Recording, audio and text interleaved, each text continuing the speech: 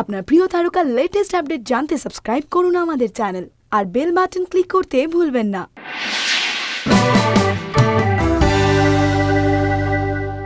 মুক্তি পেল ছায়া ও ছবি। কৌশিক গাঙ্গুলি পরিচালিত এই সিনেমায় সুপারস্টারের চরিত্রে অভিনয় করছেন আবির চ্যাটার্জি। অথচ সেই আবির চ্যাটার্জিকেই কিনা মধ্যবিত্ত বললেন পরিচালক? কোন পরিপ্রেক্ষিতে এমন কথা বললেন কৌশিক? আসলে আবির চ্যাটার্জির প্রশংসাই করছিলেন ছায়া ও ছবির পরিচালক। আবির সম্পর্কে তিনি বলেন, জীবনবোধের জায়গা থেকে বলি, আবির চ্যাটার্জি সেলিব্রিটি হওয়া সত্ত্বেও তার মধ্যে একটা অত্যন্ত সাধারণ মানুষ রয়েছে।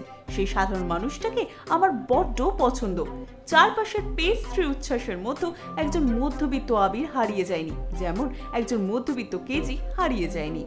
আবিরের অভিনয় নিয়ে বলতে গিয়ে কৌশিকের বক্তব্য, টলিউডে এই মুহূর্তে আবির চ্যাটার্জির যা স্টেটাস সেটা মাথায় নিয়েও যেসব বিয়ারা বিয়ারা চরিত্রে কাজ করছে, এমন দুঃসাহস কলকাতার খুব কম অভিনেতার আছে।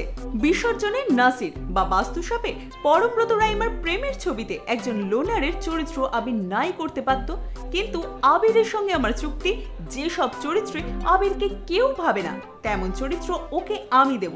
আর আবির কথা দিয়েছে, তেমন চরিত্র ও করবে। তবে ঋত্বিক চক্রবর্তী এবং আবির চ্যাটার্জি এই দুজনকে নিয়ে বলার সময় কৌশিক বলেন, আসলে কিছু চরিত্রে আবির বা ঋত্বিক একই রকম ভালো কাজ করবে। তবে এমন কিছু চরিত্র আছে, যা ঋত্বিক ছাড়া কেউ করতে পারবে না। বরং বলি, ছায়া ও ছবিতে ঋত্বিক আন্ডার ইউজড আবার কোয়েলের চরিত্রটি এবং অভিনয় নিয়ে বলতে গিয়ে পরিচালকের বক্তব্য খুব অহংকার করে বলে দিই।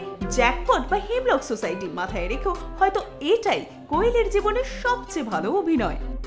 সিটি সিনেমা ইউটিউব চ্যানেলটি আপনাদের ভালো লাগলে লাইক করুন, সাবস্ক্রাইব করুন এবং অবশ্যই কমেন্ট করুন।